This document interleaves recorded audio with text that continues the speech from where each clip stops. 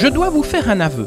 J'ai toujours été quelqu'un de curieux et je me suis toujours intéressé au vécu des personnes qui m'entouraient. Cela me permettait de mieux les connaître et de les découvrir, ce qui j'en suis sûr est un réflexe généreux. S'intéresser aux autres facilite les relations avec ceux-ci. En créant en 2018 le podcast natif Les interviews d'Eric Cooper, j'avais le projet de partager avec tous et toutes le voyage que je faisais en découvrant la vie et les réalisations des personnes qui, à mon micro, racontaient une histoire, leur parcours de vie ou leur création. C'est sur le ton d'une simple conversation que se déroulent les interviews d'Eric Cooper. Le décor est simple, la terrasse d'un café, un musée, un parc, une gare, l'ambiance parfaite pour permettre à la conversation de se dérouler aisément.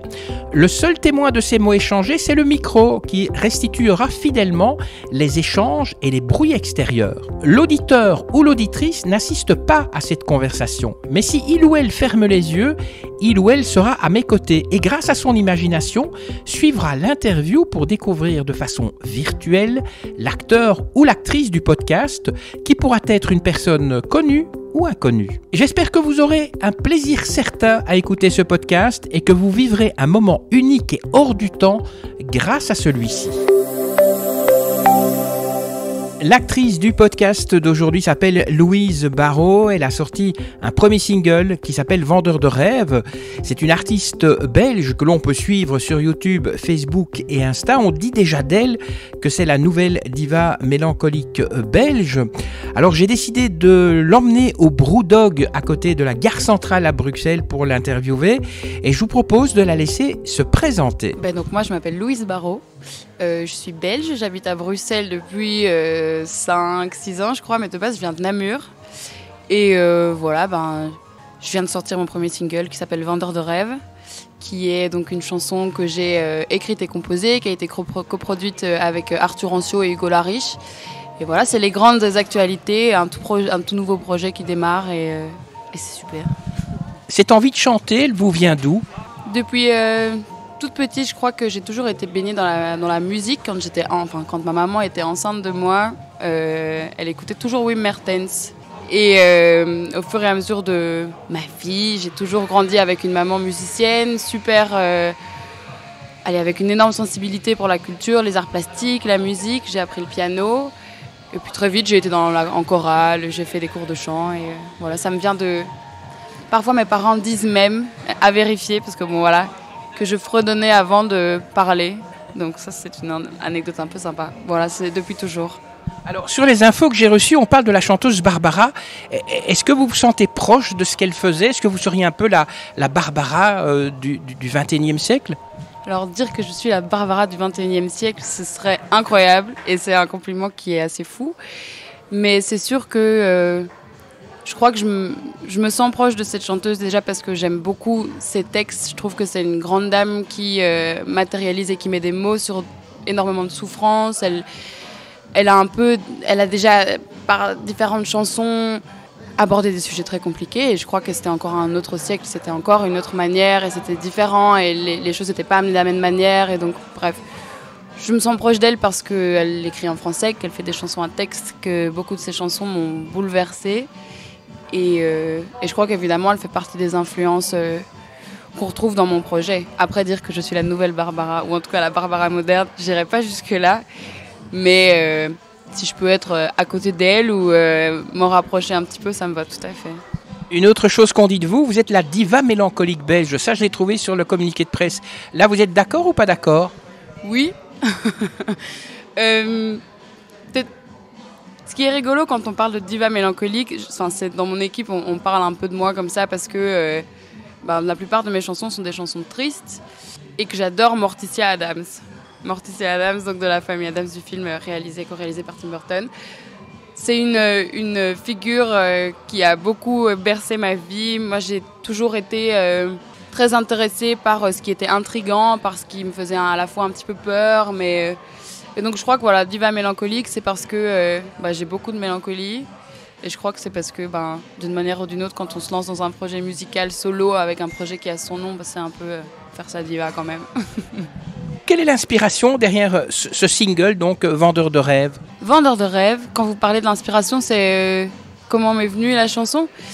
Bah, Je crois que bah, Vendeur de rêve, c'est une chanson euh, qui parle de romance. C'est une chanson euh, que j'ai écrite après euh, un chagrin d'amour et qui a été vraiment inspirée par un phénomène moderne qu'on retrouve beaucoup à l'heure actuelle, à l'heure des réseaux, etc. c'est le ghosting, c'est le fait de, du jour au lendemain de ne plus avoir de réponse d'une personne avec qui on a tissé des liens, avec qui, voilà ce sentiment de se sentir effacé, inutile, ce sentiment de, en fait, finalement de plus exister et de voir quelqu'un qu'on a aimé d'une certaine manière ben, juste disparaître pour toujours. Et donc ça, c'était l'idée principale et c'est vraiment de, ce sentiment-là qu'est né Vendeur de rêve.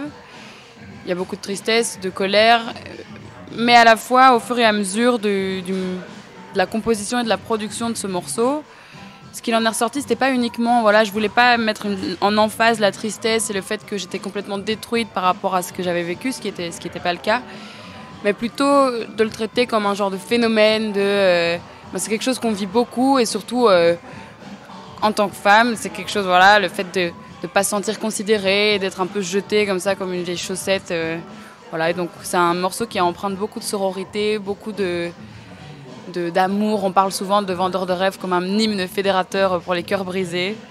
Voilà c'est ce message-là que vous souhaitez transmettre au, travers de cette chanson, donc euh, un, hymne fédérateur pour les, cœurs brisés? Oui, on peut parler de, ce message-là. Parce que je crois que le plus important pour moi dans vendeur de rêve, c'est le fait que. Ben voilà, c'est vraiment faire transmettre un message. Le ghosting, c'est pas sympa, c'est pas respectueux. Et on est beaucoup à le vivre.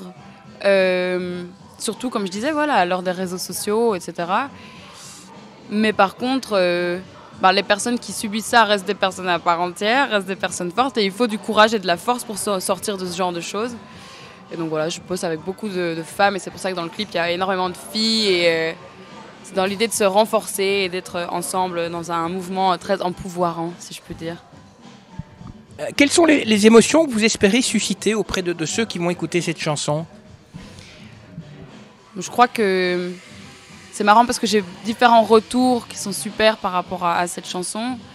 Il euh, y a beaucoup de gens qui parlent de cette manger vraiment une grosse claque parce que euh, ben c'est fort et c'est un, morceau qui a, y a un peu de folie aussi dans, dans, cette production. Il y a un aspect qui est très voilà, on parle d'incantation, etc. Mais je crois que moi, les, plus, les émotions les plus importantes que je voudrais véhiculer par, euh, par cette chanson, ben déjà, c'est les aspects de sororité, parce que moi, je suis très euh, dans le pouvoir des sœurs, dans le pouvoir des, femmes qui se mettent ensemble pour vaincre quelque chose. Euh, puis de la force, la résilience aussi, parce qu'il n'y a rien à faire. Les chagrins, les chagrins d'amour, ça cause beaucoup de, dommages, et petits et grands. Voilà, il y a des gens qui vivent très bien, mais ça peut aussi être complètement dévastateur. Et voilà, donc de la résilience, de la sororité et, euh, et du respect, parce que quand même, il faut arrêter de ghoster les gens sur Internet. Alors, la chanson rassemble 20 femmes. Quelle est l'idée de, ce rassemblement? Quelle est l'idée derrière ce rassemblement? De base, on voulait, euh, voilà, je parlais de sororité juste avant, dans l'idée que le ghosting c'est quelque chose qu'on vit souvent euh, à l'heure des réseaux sociaux, et puis encore plus. Pour moi, je parle d'un point de vue de femme, euh, donc j'ai plein d'amis qui vivent ce genre de choses aussi. Dans l'idée, on voulait vraiment qu'il y ait ce truc de, comme je disais, des femmes qui se rassemblent ensemble pour vaincre quelque chose, presque un truc de rassemblement de sorcières modernes, mais dans, dans la bonne, euh, le bon point de vue de cette chose-là. Et euh, voilà, l'idée c'était que je voulais vraiment que ce soit 20 femmes pour avoir cet élan de sororité, cet élan de euh, on est tout ensemble et, et on est résiliente, parce que c'est la vie. Est-ce que ça joue un rôle dans la sonorité de la chanson, ce rassemblement de femmes? Oui. De base, donc les, les, choses ont été faites de manière différente, dans une chronologie différente. C'est-à-dire que la chanson a d'abord été réalisée et produite et puis après, on a tourné le clip. Mais c'est sûr que moi, pendant tout le processus de création de Vendeur de rêve, mon premier public, ça a été mes amis très proches. Euh, qui ont donc eu les, les, premières ébauches de Vendeur de rêve qui a, qui a, été écrite quand même il y a deux ans, donc ça fait un bout de temps. Je l'ai écrite dans un appartement dans lequel j'étais en colocation avec deux amis qui étaient dans les pièces d'à côté quand vraiment je réalisais le morceau. Puis au fur et à mesure du processus de création, donc moi je suis chanteuse, mais je suis aussi professeure de chant. J'ai fait beaucoup de chorales et d'harmonies. Enfin, je travaille beaucoup les harmonies j'aime beaucoup euh, faire euh, chanter les voix les unes avec les autres. Je trouve qu'il n'y a rien de plus beau qu'un ensemble de voix qui chantent tous ensemble. et donc dès le départ, dans les refrains, bah, il y a comme ça ces chœurs où euh, c'est toutes des voix superposées les unes aux autres qui chantent ensemble. Et, donc c'est sûr que déjà de base dans le processus créatif, il y a cette idée qu'il y a plusieurs voix. Bon là c'est moi qui les chante toutes, mais c'est comme si ce pouvait être toutes les voix de plein de femmes différentes qui ont pu vivre ou être confrontées à ce genre de problème. Et donc c'est sûr que ça a eu un une influence dans, les sonorités de, de cette chanson. Et puis en, travaillant euh, au mix avec Louis Potin, Parezo, qui est donc euh, l'ingénieur du son qui a travaillé avec moi pour euh, l'enregistrement et le mix de cette chanson, on voulait vraiment qu'il y ait un peu un aspect, presque pas d'incantation, mais il y a beaucoup d'orgue, etc. Presque un truc, voilà, sorcellerie, de magie, pour faire presque un peu peur, mais sans être non plus dans une optique d'effrayer les gens. Et moi, j'aime beaucoup les sorcières, et donc je crois que dans tous les cas, c'était marqué par, par cette volonté-là. Est-ce que c'est une chanson que l'on peut qualifier de, féministe? C'est complètement une chanson qu'on peut qualifier de féministe, je crois vraiment. Euh, déjà parce que moi je me considère comme féministe, donc je crois que quelle que soit la manière, euh, le féminisme est très présent dans ma vie et je crois que voilà ce que que ce soit volontaire ou pas, conscient ou pas, il y a de toute façon des, des pointes de féminisme qui, euh, qui vont ressortir de, de, mes chansons. Mais ici, dans, en l'occurrence, Vendeur de rêve, je crois qu'on est clairement dans le féminisme. Euh, comment se déroule votre processus euh, d'écriture et de composition? Comment ça se passe quand vous décidez d'écrire une chanson comme, comme, comme votre premier single? Ce qui se passe, c'est donc moi je suis compositrice et j'écris aussi mes, chansons. En général, ce qui se passe, c'est que donc je commence avec une suite d'accords, je compose au piano chez moi. et en général, le texte me vient assez facilement. Et puis après, dans un deuxième temps, j'envoie donc euh, la chanson, la maquette, à mon producteur, qui est Arthur Ancio, qui est aussi ici basé sur Bruxelles. Je vais travailler avec lui sur la composition. Lui vient avec ses idées, avec, euh, il vient avec les différentes, les différents synthés, comment est-ce qu'on pourrait arranger la track pour qu'elle euh, pour qu'elle prenne telle ou telle direction. Et puis dans un troisième temps, il y a Hugo Lariche, qui est donc mon directeur artistique, mais c'est aussi lui qui a réalisé le clip de Vendeur de rêve, qui vient rajouter encore l'un ou l'autre de ses qui vient donner son avis et ajuster ce qu'il faut ajuster. Puis ensuite, il y a donc Louis Potin, qui travaille au Kingsfield Studio, qui euh, mixe et avec qui je fais un, une un réenregistrement pardon, des voix, parce que lui, donc, il a tout un matériel euh, qui est super d'ailleurs pour, euh, pour enregistrer. Et puis voilà, les choses se font comme ça, mais c'est marrant parce que j'ai un petit groupe, déjà une équipe, et à ce stade-ci, j'ai beaucoup de chance parce que j'ai déjà toute une équipe qui me suit dans ce projet. Et avant toute chose, bah, quand la chanson est encore au stade de maquette et que je suis chez moi, dans ma chambre, en train de, composer la petite chanson, j'ai toujours un petit groupe WhatsApp avec Jeanne Gabriel, qui est ma manageuse, Mathilde Ariscuti, qui est donc ma, mon attachée de presse, et tous les autres, euh, Hugo, etc., à qui j'envoie une première version de la maquette et en général, j'attends leur validation avant d'en faire quoi que ce soit. Toutes ces personnes que vous venez de citer, vous les avez rencontrées comment? Ça a été le hasard ou bien c'est vous qui, avez été les chercher? C'est très rigolo parce que quand j'étais adolescente, j'étais dans un groupe de musique. J'avais une petite formation avec deux amis, euh, Nathan Gabriel et Juliette Nagno. Et on avait un groupe qui s'appelait Swimming Pool. On a fait plein de petites dates, c'était super chouette, vraiment. On a, on a vraiment bien tourné, plutôt en Wallonie. Euh, sur l'une ou l'autre scène. Et alors, il s'avère que Jeanne Gabriel, qui maintenant est ma manageuse, c'est la grande sœur de Nathan Gabriel, qui était donc le, le pianiste du groupe. Donc ça s'est fait comme ça. Avec Jeanne, on a vite matché. On a souvent fait de la danse ensemble, ce genre de choses. On se retrouve aussi sur les, les, l'importance du féminisme dans nos vies. Ça, a toujours été un peu comme une grande sœur aussi pour moi. Elle m'a suivi dans beaucoup de choses. Et puis par au fur et à mesure du temps, euh, je sortais l'une ou l'autre petite cover sur mon Instagram euh, pendant le Covid. Et un jour, elle m'a envoyé un message en me demandant Écoute, euh, le jour où tu as besoin d'une manageuse, viens, on y va ensemble. Puis en fait, je lui ai dit bah, Ok, bah, viens, on le fait maintenant. Et voilà, de, fil en aiguille, on a construit ce truc-là ensemble. Et puis, Hugo Lariche, c'est un ami, mais c'est aussi le mari de Jeanne Gabriel donc euh, et donc en fait c'est comme une, toute une petite famille qui se qui se retrouve et euh, c'est via via on fait via, notre petit réseau et puis euh, et voilà c'est tous des gens que j'aime beaucoup et qui sont d'abord des amis avant d'être une équipe et je crois que c'est ça qui change beaucoup aussi c'est que c'est des personnes en qui j'ai entièrement confiance et et allez, qui ont du coup une vraie place dans, dans ce projet et, c'est super. C'est très très chouette de travailler avec eux. J'ai une question à vous poser. Qui est ce vendeur de rêves Vendeur de rêves, bon, il y en a.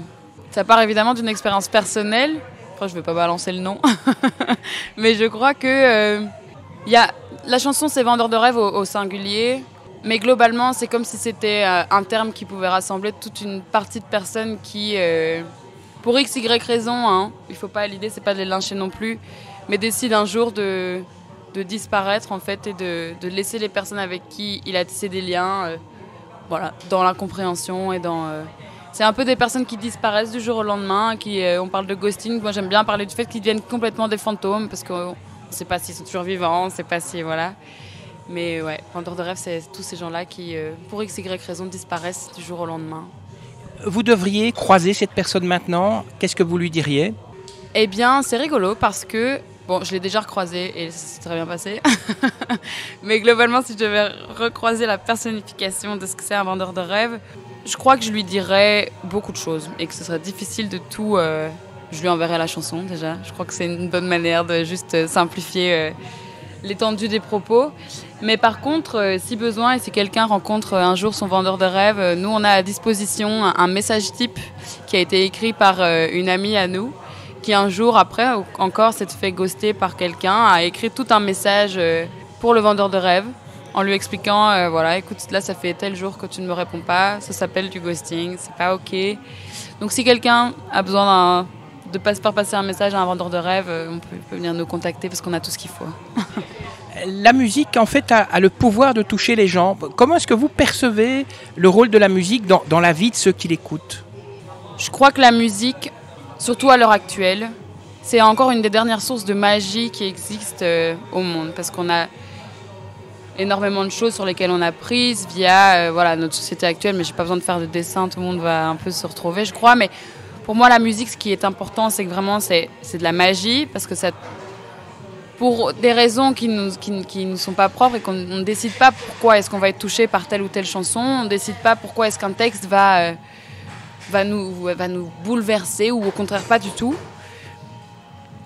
Et je crois que ce qui est incroyable aussi dans le pouvoir de la musique, et là je me place en tant qu'artiste, c'est que bah moi par exemple pour l'instant Vendeur de rêve ne m'appartient plus, dans le sens où je l'ai créé, j'ai exprimé, j'ai exposé, déposé des choses que j'avais à déposer, j'en ai fait quelque chose en fonction de ce qui se passait dans ma tête. Donc, ce qui est fou, c'est de s'entourer d'une équipe qui arrive à matérialiser ce qui se passe à l'intérieur de, de ma tête et de mon cœur.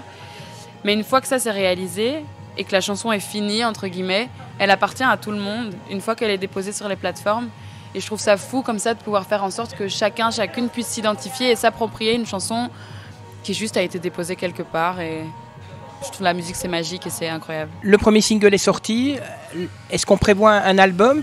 Et si oui, est-ce qu'il va être dans, le, dans la veine féministe en fait de la chanson? Alors, ici, donc, le, premier single est sorti. On prévoit normalement d'en sortir un deuxième d'ici la fin de l'année. Et si tout se passe bien, un petit EP euh, dans le courant de 2024 euh, avec quelques titres, ce serait vraiment le, top si, tout se passe comme il, comme il faut. Et alors, dans le cas où euh, ça sort, ben, évidemment, je crois que ça s'inscrira dans une vague féministe, étant donné que c'est mes convictions, que c'est quelque chose dans laquelle je me, je me retrouve et je me développe pleinement. voilà, oui, donc oui, je crois que ce sera clairement un album euh, typé féministe. Vous auriez un, message à transmettre aux, auditeurs, un, message d'espoir et d'encouragement, et, peut-être tout spécialement pour les personnes euh, qui sont touchées par, euh, par ce ghosting? Eh bien, je dirais qu'on est ensemble, que la résilience est important, qu'il ne faut pas minimiser le poids d'un chagrin d'amour, et qu'il y a du très beau dans la tristesse aussi en général, c'est de là que fleurissent énormément de, jolies choses et, euh, il ne faut pas hésiter à, embrasser cette tristesse et plutôt que de la fuir, à chercher un petit peu à l'intérieur ce qui s'y trouve. En général, il y a énormément de très jolies choses. On sait déjà quel va être le thème de votre prochain album, mais est-ce qu'il y a des thèmes autres que vous aimeriez bien explorer aussi? Oui, moi je suis très sensible. Euh, bon, déjà, j'écris des textes qui sont très introspectifs, donc euh, en général, en tout cas jusqu'à présent, mes chansons parlent d'histoire personnelle, euh, de réflexions que je peux avoir, voilà. moi, donc, je puise beaucoup d'inspiration dans la tristesse, justement, parce que c'est une émotion que je suis amenée à ressentir énormément. Et ce qui est beau, c'est qu'au fur et à mesure des années, là où quand j'étais petite, je comprenais pas trop pourquoi j'étais voilà, triste tout le temps. Moi, je suis une grande pleureuse mais j'aime beaucoup d'un certain point de vue. Et donc c'est une émotion que j'ai réussi à, appréhender, à pas apprivoiser parce que j'aime pas dire que voilà je sais comment je gère ma tristesse, mais voilà, donc tout ça part d'expériences personnelles. Je puise aussi beaucoup d'inspiration dans l'amour, évidemment. Euh. Mais alors, des thèmes pour moi qui me, qui me sont très chers, c'est aussi tout ce qui touche à la santé mentale. Euh, voilà, j'ai vécu énormément de choses euh, par rapport à ça, que ce soit dans ma famille, proche, moins proche, ou même moi avec moi-même. Je crois que c'est important d'en discuter et d'en parler à l'heure actuelle. Et D'ailleurs, il y a quelques temps, j'avais refait comme ça une cover, une reprise de Tous les cris, les SOS de Daniel Balavoine, que j'ai sorti en janvier dernier. Et c'est fou parce que c'est une chanson moi que j'écoutais beaucoup avec mon père quand j'étais ado, mais sans réellement euh, écouter les paroles. Et c'est une fois comme ça simplement, euh, je me disais ah, c'est quand même joli. Et je voulais m'essayer au placement de voix de Balavoine qui est vraiment pas évident. Et c'est dingue parce que c'est comme si ça s'était ancré dans une période de ma vie. Euh, voilà, c'est encore ici le pouvoir de la musique quoi. J'ai j'ai voulu travailler Balavoine par rapport à son placement vocal. Et puis en fait, c'était une période de ma vie où c'était un peu plus creux au niveau de ma santé euh, mentale et psychologique. Et j'ai vraiment redécouvert son texte. Et c'était fou. Donc voilà. Mais donc oui, santé mentale, tristesse, amour, euh, beaucoup de choses qui me touchent personnellement. Et, après, je ne sais pas encore là où l'avenir va me mener, mais euh, j'aspire à écrire sur énormément de choses parce que je crois que tout est sujet à la chanson. Alors, une, dernière question. Quand vous recevez un retour d'un auditeur qui est positif, c'est très chouette, mais comment vous gérez la critique qui peut parfois être un petit peu méchante? Alors, moi j'ai de la chance, vu que c'est un bébé projet. Pour l'instant, j'ai pas encore reçu énormément de critiques négatives si ce n'est un euh, commentaire qui m'a fait beaucoup rire. Donc ça c'était chouette parce que c'était vraiment qui me disait voilà encore une qui confond euh, confession psychologique en plus d'être bien féministe et tout. Donc ça je rigole par rapport à ce genre de choses parce que voilà il en faut toujours et puis ça marque presque même le départ euh, de d'un projet parce que qu'est-ce qu'un projet s'il n'y a pas vraiment de haters comme on dit ou de personnes qui aiment pas? Après quand j'ai des critiques négative, je pars du principe que c'est normal que tout le monde ne soit pas touché par ce que je fais, comme moi je ne suis pas touchée par euh, tout ce qui se produit non plus. Euh, je crois juste qu'il y a les formes et, euh, la manière de faire, et toute, toute, critique constructive est évidemment la bienvenue. Mais je crois que si c'est méchant et, et, que ça ne sert à rien, ben voilà, pour moi la méchanceté c'est nul. Donc je crois que je passe un petit peu au-dessus et je prête pas beaucoup d'attention. Ça y est, c'est fini. Merci à vous, Louise Barrault. Je rappelle donc, vous avez sorti un premier single qui s'appelle Vendeur de rêves. On attend avec impatience votre album. Ceux qui veulent vous suivre et celles qui veulent vous suivre, eh bien, peuvent le faire sur YouTube, sur Facebook et sur Instagram. Et puis avant de vous laisser, vous les auditeurs, eh bien, n'hésitez pas, bien sûr, à liker ce podcast, à le partager, à le commenter et surtout, abonnez-vous à la chaîne Les Interviews d'Eric Cooper.